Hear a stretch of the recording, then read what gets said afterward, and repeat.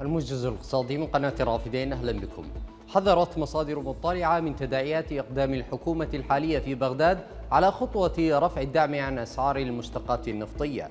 وأكدت المصادر أن رفع الدعم عن أسعار المشتقات النفطية سيشعل نيران ثورة شعبية بوجه حكومة الكاظمي التي أطلقت في عام 2020 ما يسمى الورقة البيضاء ولم تؤت ثمارها الاقتصادية للعراق. ثم أقدمت على تخفيض سعر صرف الدينار مقابل الدولار الأمر الذي فاقم الأزمة الاقتصادية في البلاد وأدى إلى زيادة أسعار المواد الغذائية وزيادة مستوى خط الفقر إلى 40% أعلنت هيئة المنافذ الحدودية ضبط وإحباط محاولة تهريب تسع أو تسع عجلات وهدر بالمال العام في منفذ طريبيل الحدودي بمحافظة الأنبار.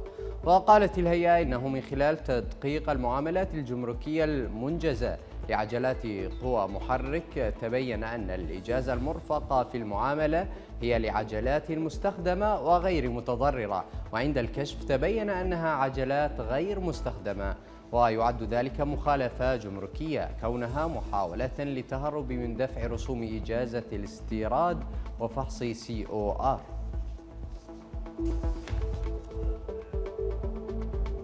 قالت هيئة الجمارك في العراق إنها ضبطت حاويتين مخالفتين للضوابط في جمرك بوابة البصرة. وذكرت الهيئة أن الحاويتين اللتين تم ضبطهما تحمل أربع سيارات ومستلزمات طبية في مركز جمرك بوابة البصرة لمخالفتها ضوابط وتعليمات الاستيراد. وتتزايد بشكل مضطرد عمليات تهريب الأدوية والمستلزمات الطبية في الفترة الأخيرة لا سيما في المنافذ الحدودية الجنوبية. قال وزير المالية المصري محمد معيط إن فاتورة الاستيراد الخاصة بالبلاد ارتفعت بعد الحرب الروسية الأوكرانية ووصلت إلى 9.5 مليارات دولار في الشهر من 5 مليارات دولار شهريا قبل الحرب. أضاف الوزير محمد معيط أن الموازنة الحالية المتوقعة فيها إيرادات بقيمة بقيمة واحد تريليون و518 مليار جنيه مقابل مصروفات بنحو تريليونين و 71 مليون جنيه بعجز يبلغ نحو 588 مليار جنيه. وارتفعت الأسعار في مصر على نحو ملحوظ في الشهور القليلة الماضية وخفضت الحكومة قيمة العملة 14% في آذار بعدما واجهت تداعيات اقتصادية سلبية من جراء الحرب في أوكرانيا. قال المستشار العسكري لمنطقة أوديسا الأوكرانية يوري ديموفوغولو إن موانئ المدينة وحدها تحوي حاليا ستة ملايين طن من الحبوب بانتظار التصدير.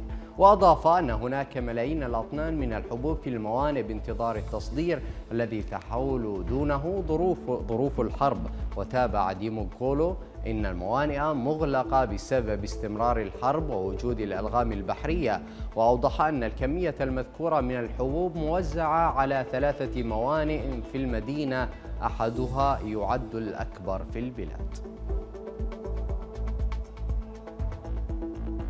أما الآن فننتقل لأسعار صرف العملات الأجنبية وأسعار المعادن.